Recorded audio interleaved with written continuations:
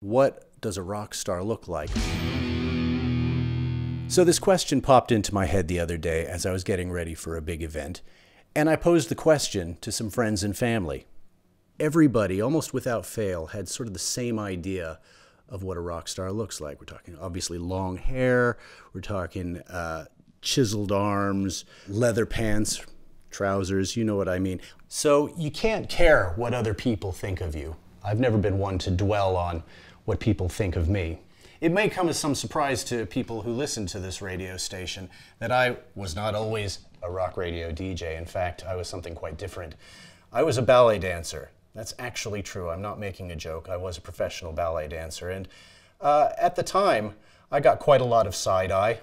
A lot of people raised eyebrows at me. Uh, but it was something I wanted to do.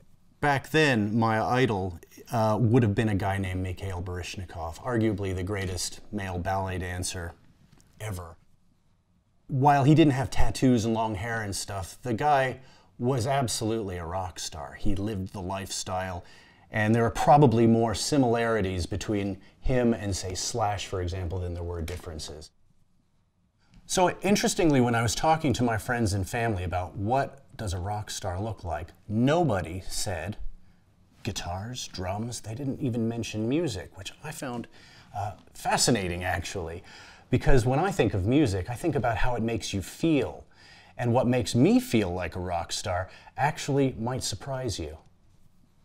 With all the things I've done in my life, there's no greater pleasure for this ex ballet dancing, rock radio presenting family man than cooking.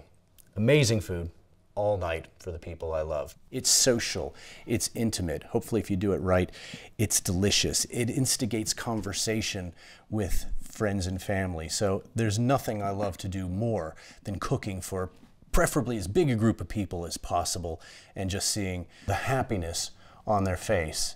Being a rock star isn't actually a profession, it's a state of mind, it's a feeling living and breathing something that you love to do. This is what cooking makes me feel like. It's absolutely fantastic.